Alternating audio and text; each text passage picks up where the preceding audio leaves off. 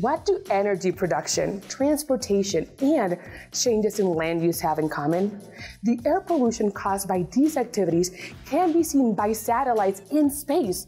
As cities sprawl and emissions rise, the stakes climb higher for future generations. In her Explorer Series lecture, Air Quality from Space, NSF NCAR scientist and Associate Director Dr. Pieternel Levelt will discuss how measurements from air quality captured by satellites can inform further research and climate policies around the world.